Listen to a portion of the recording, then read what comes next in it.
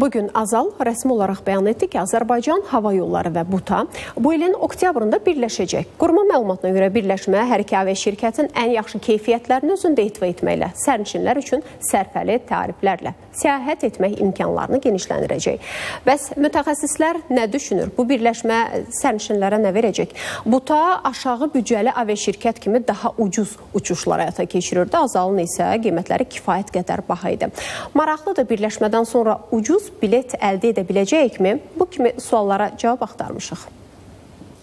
Ölkədə aşağı büdcəli aviaşirkət olan BUTA ilə Azərbaycan Hava Yolları şirkətinin birləşəcəyi ilə bağlı qərar mütəmadi təyyarədən istifadə edən sərnişinlərdə suallar yaradır. Görəsən iki şirkətin birləşməsi hansı zərurətdən irəli gəlir?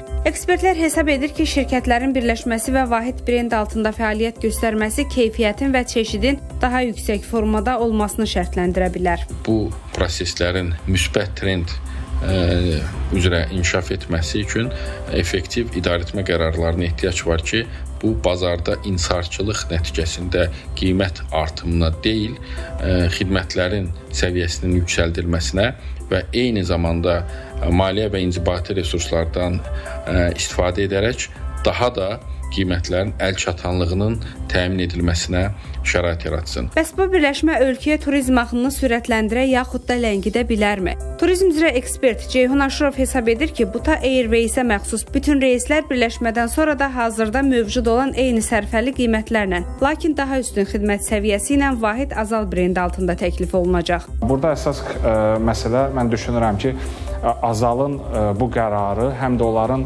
xərclərinin optimallaşdırılmasına, xidmətinin daha keyfiyyətli və idarə etmənin daha çevik olmasına yönəldilibdir ki, bu nəticədə də mən düşünürəm ki, daha optimal xərclənən azal daha böyük, daha çox kompaniyalar gələcəkdə müştəri məmnuniyyətinə yönəlik əməliyyatlar keçirməyə daha rahat olacaqdır. BUTA Airways avia şirkəti ə, Azərbaycan Hava Yolları ilə Vahid Azal brendi adı altında birləşəndən sonra eyni sərfəli qiymətlərlə, necə ki daha öncə BUTA Airways-də sərfəli qiymətlər təklif olunurdusa, eyni sərfəli qiymətlərlə aviabiletlər təklif olunacaq ə, və üstəlik burada ə, sərnişinlərə yenilik olaraq BUTA büdcet tarifi təklif olunur və həmin buta büdcet tarifində üstünlük ondan ibarətdir ki, sərnişinlərə eyni sərfəli qiymətlərlə daha üstün xidmətlər təklif olunur. Qeyd edək ki, şirkətlərin birləşməsi bu ilin oktyabr ayında baş tutacaq və Vahid Azal brendi altında fəaliyyət göstərəcək. Turanə Tağızzadə, Şəhriyar Əhmədli, ATV xəbər.